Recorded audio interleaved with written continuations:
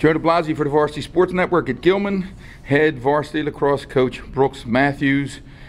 What a competitive league it's going to be from what I've seen already, and I know you're going to have a very, very good team. Talk about who's back, who you're going to be counting on, and how you perceive the season to be.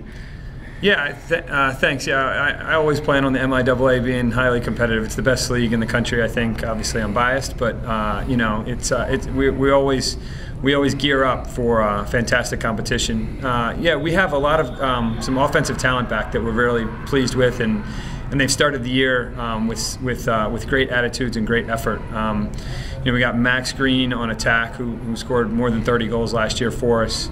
Um, uh, Zeke Morrow is a senior captain on attack as well. Got Tyler Rule, um, Chase Whittick, Chris Walsh. So we've got some we've got some very talented attackmen returning. Uh, in the midfield, you know, we got Riley DeSmit and John Sims. Uh, Riley's a senior captain, three sport athlete, and John Sims is, you know, fastest guy going. Um, so uh, so you know, and, he, and, and, so we're really happy with what we got in the midfield. And then on defense, you know, we've got you know we, we have that's that's where we have a lot of work to do. We're, we have to replace a lot of guys uh, on the defensive end.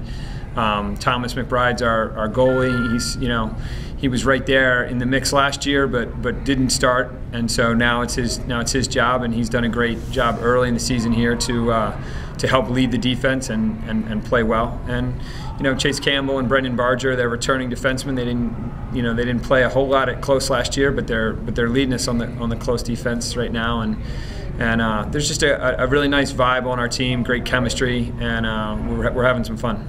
And you've played some games already on spring break. How how'd it go?